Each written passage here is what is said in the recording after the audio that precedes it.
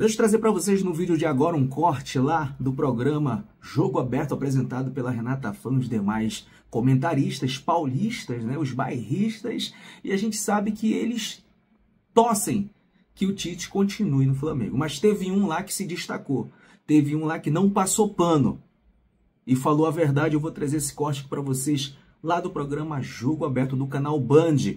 E também vou trazer é, eu desmascarando o Benja, o Benjamin Bach, aquele corintiano, veio falar da torcida do Flamengo, veio falar um monte de coisa, dizendo que não, a torcida do Corinthians que é a fiel, pois eu fui, fui atrás e desmascarei, mostrei a verdade nua e crua de, que, de quem realmente é fiel, qual torcida realmente é fiel, a do Flamengo ou a do Corinthians, e também vou trazer isso no vídeo de hoje, de agora, para vocês aqui. Então já fica aqui comigo do início ao fim. Só que antes, pessoal, vamos chegando daquele jeitão, sentando o dedo no like. O like de vocês que ajuda muito aqui o nosso trabalho. O like de vocês que ajuda muito aqui o nosso engajamento também. Então, ó, vai sentando o dedão no like. Se você ainda não é inscrito aqui do canal, botãozão vermelho aqui embaixo escrito inscreva-se Clica nesse botão, é de graça, não custa nada. Compartilha este vídeo para geral e também ativa o sininho das notificações. Bom, vamos lá então para o corte. Créditos, imagens, direitos autorais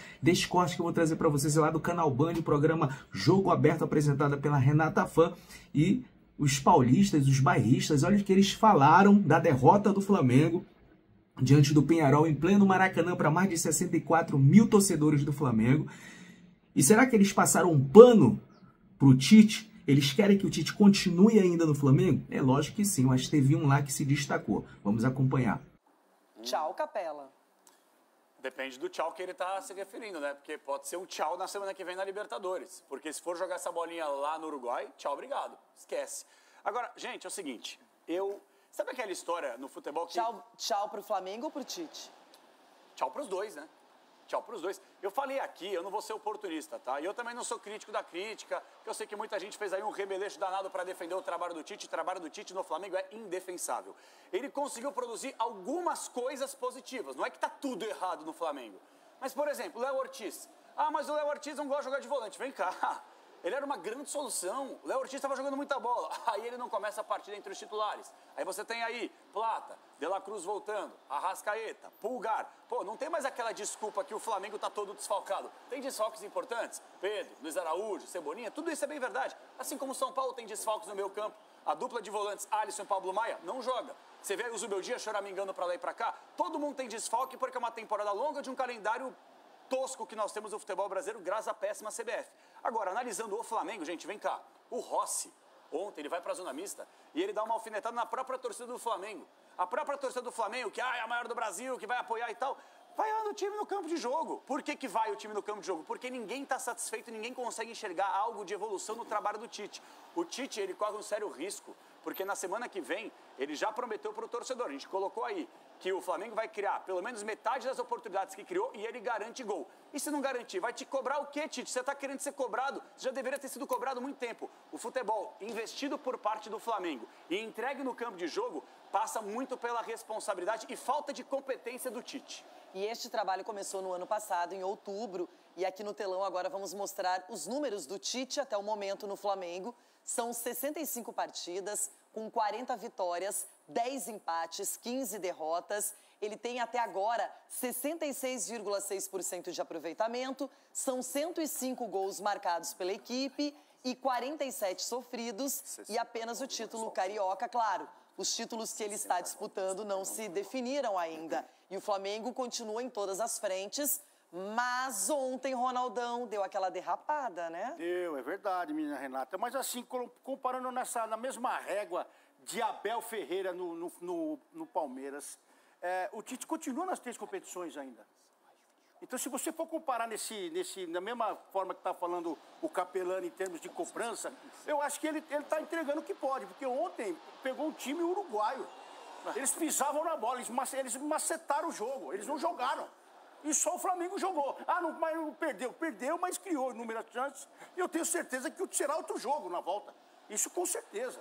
Agora, é, cobrar dessa forma, ah, porque ele tem um monte, é porque o, a, a, folha salarial, ah, porque o gastou não sei quanto. Teve time que tá com uma competição só e tá respirando. Cadê o time do amor? Time da força, time do amor. Tá só treinando aí. O time do E amor. os caras gastaram a mesma bala e ninguém fala nada. Quer dizer, o Tite ainda está brigando, ainda pode brigar. Então, eu acho que vamos ter que esperar. Futebol é, é futebol é ingrato. Mas olha como e muitas futebol- vezes a gente torce pro Fortaleza, ganha o Corinthians. Agora, olha como o futebol é ingrato mesmo. Porque o time do o amor, por exemplo, que é o Palmeiras, já ganhou o Campeonato Paulista. Também tem um título já no ano. Igual o Tite. E o Palmeiras pode ainda ganhar o brasileiro, por exemplo, e o Flamengo ficar sem igual nenhuma o taça. Tite. O Tite pode ganhar o título também, então acho que é, que é muito cedo, porque quando vence, eu vi a internet ontem, ah, o Tite, ah, o Tite, ah, o Tite. Aí ontem está todo mundo batendo, aqueles mesmos que, tá, que bateram nas costas do Tite, hoje jogaram uma lança no peito dele. Então, Na verdade, eu acho que não tem nada a ver com o Tite pessoa, acho que nem dá pra falar sobre isso. É o trabalho em si, ponto, não é? Chico, você é um defensor de longa data, não, não é oportunismo, não, porque você admira o trabalho do Tite desde o princípio da carreira do técnico gaúcho. Desde quando. Ele é meio ingrato. É, ele é, É, Tite. Tite. Desde quando ele surgiu Caxias, Grêmio, acho que fez, um- ele fez um grande trabalho no Inter em 2008 e o Corinthians, né, nem, nem precisa falar. É, e seleção brasileira também. Mas assim, Renata, eu, eu realmente não posso discordar da responsabilidade que ele teve no jogo ontem, com algumas escolhas. Eu acho que o Alexandro ainda está sem ritmo e ele tem um Ayrton Lucas voando, não teria por que fazer essa mexida nesse momento. O Léo Ortiz, ele reinventou o Léo Ortiz. Na minha opinião, ele estava jogando demais no meio-campo e não como primeiro, tá? Que às vezes ele botava o Everton Araújo, menino, o Léo saindo pro jogo. Cara, deixasse o Léo ali, mas aí ele quis e argumentou que o Pulgar é jogador de seleção, experimentado. E, e entre outras palavras, ele quis dizer que o Léo Ortiz estava quebrando um galho. Pô, ele estava muito bem. Acho que o Tite errou nesse aspecto. É, e o time realmente não jogou bem. Agora, eu faço alguns contrapontos. Por exemplo, para vocês, quem foi o melhor em campo ontem? A gente poderia eleger alguns jogadores aqui, né? Eu tenho o meu, que para mim é o goleiro do Penharol. Sim. O Aguirre fez mil- alguns milagres. Duas defesas. Ah, não, não, Não, foram duas- apenas duas. duas ótimas defesas. duas. Ele tudo bem. macetou Duas ótimas Tudo bem, defesas, Tudo duas. bem. Macetou o Pra jogo. mim foi o Baez, achei que jogou muito. Muito. Tá bem, mas eu acho que foi o goleiro do Penharol. Se o goleiro do Penharol Mas é é uma das justo também. figuras do jogo, significa que o Flamengo pelo menos chegou. Contra o Vasco, o Flamengo jogou mal? O Flamengo melhor que o Vasco. Amassou o Vasco e tomou um gol no finalzinho. Então, assim, é, o Pedro, se tivesse ontem, eu não Ah, tenho sim, bola de sim, cristal, sim, mas sim, se o Pedro sim, tivesse ontem, sim, gente, o Flamengo teria vencido com o pé nas costas. Pô, ele tá tá perdendo jogadores, ele tá endinar. perdendo jogadores que influenciam diretamente no Mas- jogo. Mas diretamente no jogo do Flamengo. Todo mundo Eles- perdeu, Chico. Gente, eu tô, eu o tô Corinthians admitindo perdeu, o São Paulo perdeu, o eu estou Atlético perdeu, o admitindo Flamengo aqui a perdeu. responsabilidade dele ontem. Você tá passando pano não pro estou, Tite, Não tá estou, mas o trabalho A dele tem é algumas A- a é influências externas. A impressão que eu tenho, Rei, eu falei aqui há um tempinho, é que o Tite não entendeu aonde ele está ainda. Eu falei aqui, o Flamengo tem muita mais pressão do que a seleção brasileira. Muita mais pressão, uma das maiores torcidas do mundo, um dos maiores times do Brasil. É um fato. O Rossi também ontem falou das vaias. Irmão, você não tá entendendo. Vocês estão aí recebendo milhões para jogar bola. Mérito, chegaram no Flamengo, enfim. O torcedor tá ali pagando ingresso caríssimo Libertadores para torcer. Vaiou no primeiro o torcedor, o torcedor tá no total direito de vaiar e de questionar o péssimo futebol- futebol do Flamengo. Total direito. E pra mim tem uma situação, o, Tite, o Chico fala, não, mas o Flamengo perdeu muitos jogadores. É, Perdeu. Só que qual que é a função assim, de um não. técnico que tá recebendo pra estar nesse cargo, no Flamengo? A função do técnico é arrumar alternativas pra isso. E a gente não tá falando de um time ali de Série B, Série C, que tem jogadores ali medianos já de titulares no banco jogadores fracos. Não. Olha o time do Flamengo ontem, pô. Bruno E Henrique o Bruno centroavante. Henrique cabecear pra contratou, baixo, né? contratou Se o Gonzalo Bruno Henrique Plata. cabeceia pra baixo, seria é um que a um, seria um a um. Péssimo resultado. É Seria um a um. Péssimo resultado. Ah, tem o De La Cruz jogando também, tem o Arrascaeta jogando, tem uma zaga excelente, o Alexandre que chegou da Juventus agora. Vocês estão de brincadeira de normalizar isso. O trabalho do Tite, por enquanto, é uma vergonha no Flamengo, por conta do desempenho principalmente. Os números enganam porque teve o Carioca, que também é uma baba, né, pro Flamengo. É uma baba. Gerson- Pra mim, o o trabalho é ganhou, né? péssimo. O Botafogo, O Gerson achou que Botafogo tava no não salão de festa, Botafogo que é o melhor tá porrada, Brasil. Calma aí. pra dentro do O Tite tem que começar a mudar a postura dele em coletivo. Bruno Henrique Tem que também, começar a ah, mudar a Pra postura. você é ótimo o Flamengo em crise, é seu próximo adversário É na. Copa Não, do não, não, Brasil. não tô nem É. pensando nisso. Tite começa a mudar Eu a tô postura falando na aqui que o coletiva. Bruno Henrique cabeceia pra Rei, baixo, um o Gerson chega chapando, batendo, é diferente. Agora os caras atuam no Maracanã. O Arrascaeta tomou, o Arrascaeta bateu dois paredão lá, caiu no chão e ficou gemendo. Na outra ele nem foi. Agora, Se eu tô assim, no campo, eu falei, irmão, pega essa bola aqui, vai pra cima A do culpa cara é de só dos jogadores, Não, então. não É isso que é, vocês estão não é. falando. Os jogadores também. Os jogadores têm culpa. O Tite não tem culpa. Mas uma coisa, falando sério, uma coisa é o que eu penso na, na análise aqui de fora, a outra é o fato. O fato é que a torcida do Flamengo, desde Jorge Jesus, passaram Rogério Ceni Renato Gaúcho, Dorival Júnior, ninguém prestou. Jorge Sampaoli, Não, não é que- não é Vitor não Pereira, prestou, não é ninguém prestou, prestou. não. Os caras Não é todo mundo. Não é e o assim. Dorival ganhou dois títulos e foi mandado embora. ganho três, Everton né? Guimarães, o Flamengo se complicou sozinho, eu diria. Renata, aliás, o Flamengo tem se complicado sozinho, né? Curioso porque eu vou pegar aqui para minha realidade. Quando o Seabra, técnico do Cruzeiro aqui, perde seus principais atacantes e o time dá uma oscilada e falta exatamente os gols necessários para ganhar os jogos, aí a culpa é só do Seabra. Quando o Milito perde 12 jogadores, entre os 12, pelo menos uns 10, 9, 10 titulares, aí a culpa é do Milito. Nesse caso do Flamengo aí, eu vou fazer uma inversão na situação. Porque o Flamengo, um clube que tem 1,3 bi de orçamento anual, que quando machuca um jogador ele vai ao mercado e traz um ainda melhor, o elenco que o Flamengo tem, sabe? Eu não, eu não, eu não sou simpático a- ao trabalho do Landim e ao trabalho do Marcos Braz. Eu acho, aliás, o Marcos Braz muito ruim, o Landim é um, é um presidente assim. é, ok, presidente ok, tá? Mas essa eu vou tirar deles. Porque quando precisou, eles foram e buscaram. Então eles entregaram para o Tite mão de obra qualificadíssima. Qualificadíssima. Sabe? E aí, entrega mão de obra qualificada para o Tite e ele não consegue fazer esse time jogar. Veja bem, não chegou ao final da temporada, ainda tem condição na Copa do Brasil, ainda tem condição na própria Libertadores. Uma vitória do Flamengo lá no jogo de volta é algo, algo absolutamente normal, mas é do Tite essa bronca, mas é também dos jogadores. Porque eu vi ontem um Penharol. O Flamengo não jogou de tudo muito mal, mas eu vi o Penharol competindo muito mais do que o Flamengo. Então eu coloco na conta do Tite, sim, mas eu coloco também na conta dos jogadores. Um bando de mimizentos, reclamam porque a torcida está vaiando. Vocês querem agora ditar o ritmo até do que a torcida tem que fazer no estádio? Torcida tem que vaiar. A única torcida que não vaia durante os 90 minutos é a, do, é a do Corinthians, mas isso é uma questão de característica. A do Flamengo, a do Cruzeiro, a do Atlético vaiam. E tem que vaiar mesmo se a coisa não está bem. Com 1,3 bi de orçamento, vai dar mole para os jogadores e para o Tite? Não pode dar mole, não. Então, quando for com a direção, cobra da direção. Agora, quando for do Tite, dos jogadores, tem que cobrar e tem que vaiar assim. E até comparando times uruguaios que estavam nessa questão, o Nacional bem mais fraco que o Penharol, não é? O Penharol é um time, na minha opinião, que mostrou mais qualidade. Eu não sei nem se vai se classificar, pode ser que o Flamengo até consiga reverter, mas que ontem mostrou personalidade, jogadas trabalhadas, bem treinado pelo Aguirre. Tem que estar de olho. Cara, o Sgarbi, o Sgarbi é o mais novo dali e o mais centrado, o mais coerente. É lógico que a culpa é do treinador. É lógico que a, que a, a, a declaração do Rossi para cima da torcida do Flamengo foi pífia, foi infeliz, dizendo que a torcida não tem que vai. A torcida pode fazer tudo ali no Maracanã. Pagou ingresso caríssimo para estar lá. Ainda jogador que não tá jogando porra nenhuma vem querer cagar regra pra torcida do Flamengo, que não pode vaiar. E outra coisa, só vaiou uns dois minutos quando o seu Eric Pulgar, por conta da falha dele, saiu o gol do Penharol. E na sequência, depois ele falhou novamente, quase saiu o segundo gol do Penharol. E a torcida tava vaiando quando ele pegava na bola. De resto, acho que durou uns dois minutinhos só. De resto, a torcida do Flamengo apoiou do início ao fim. A do início ao fim, o Flamengo passou o segundo tempo todo perdendo e a torcida cantando, apoiando. Já no final que teve os, os cantos lá, os gritos pro Tite para aquele lugar. Aí vem querer, cara, tá de sacanagem. E os Garbi, é um, cara, um moleque novo e o mais coerente, o mais centrado dali da, da, da, desse programa. Não tem que passar pano não, cara. Todo mundo passando pano, mas eles gostam, eles querem que o Tite continue no Flamengo, porque isso é bom para eles.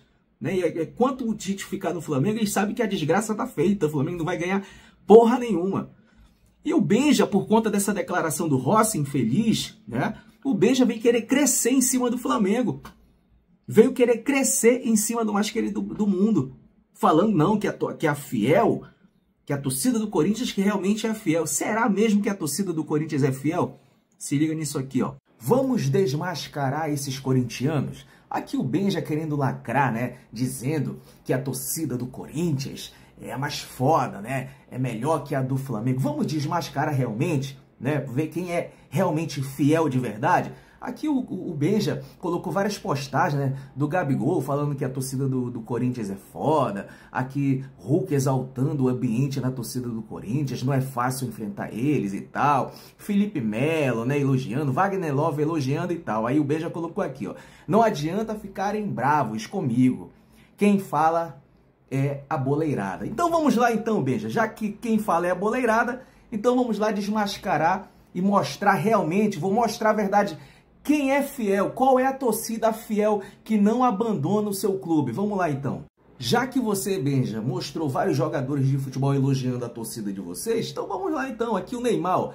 Neymar elogia a torcida do Flamengo como mais a mais impressionante do mundo. Neymar, não sou eu que estou falando, esse mero mortal aqui não, Almeida, é o Neymar, né? Elogia a torcida do Flamengo como a mais impressionante do mundo. Neymar, Benja. Neymar.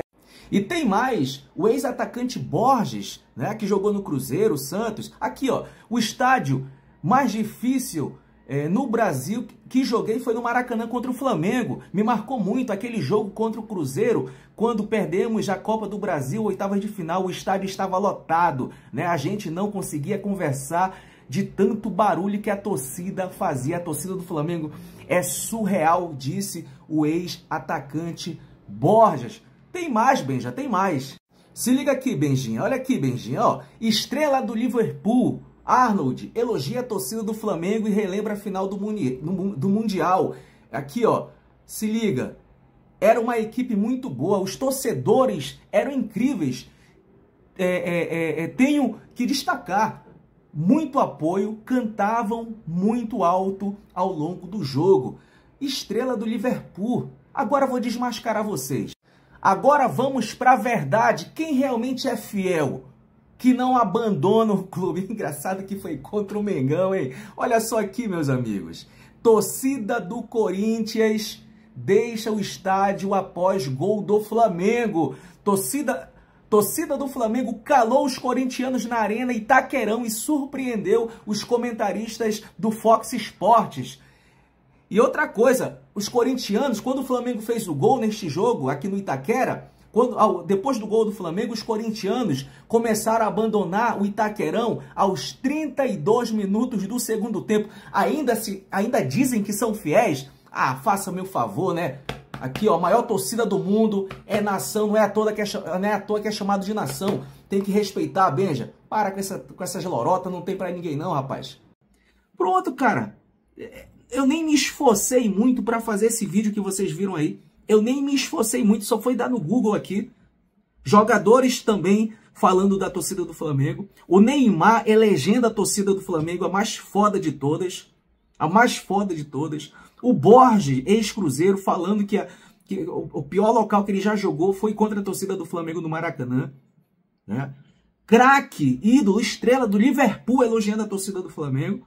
E nesse jogo contra o Flamengo aqui no Itaquerão, a torcida do Corinthians, aos 32 minutos do segundo tempo, quando tomou o gol do Flamengo, a torcida do Corinthians abandonou, abandonou o estádio a deixou os jogadores lá sozinho e a torcida que estava lá como visitante do Flamengo calou a gambazada na casa deles. Tem vídeo, cara. Nessa mesma matéria que eu li para vocês aí, tem vídeo. É só dar no Google. Flamengo fez o, o gol e a torcida do Corinthians abandonou o estádio. Ainda vem querer dizer que é fiel. Tá de sacanagem. Então já comenta embaixo, deixa a opinião de vocês porque foi mais este vídeo aqui do canal Almeida Fla. Espero que vocês tenham gostado. Então é isso. Até a próxima. Hein? Saudações.